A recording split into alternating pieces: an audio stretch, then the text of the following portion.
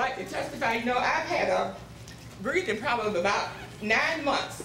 And I've gone to the doctor and they've done everything. He said, I can't find anything. I can't find anything. And during this meeting last week, I got healed. That, that breathing, I could breathe. Oh, thank you. Thank you, Jesus.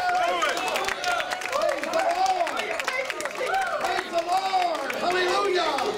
Put me on the and I, you know, and everything. So when I went to the doctor, he said, I don't think you need this oxygen, but he know I hadn't had oxygen four days. I hadn't been taking the oxygen. And I just thank God because I was just getting up and I could walk a little bit and I just hassled like a dog, hassled. You know, I couldn't hardly catch my breath. And I just thank God for it today. You know, God Let God heal you today in the name of the Lord. God put us. God in my heart.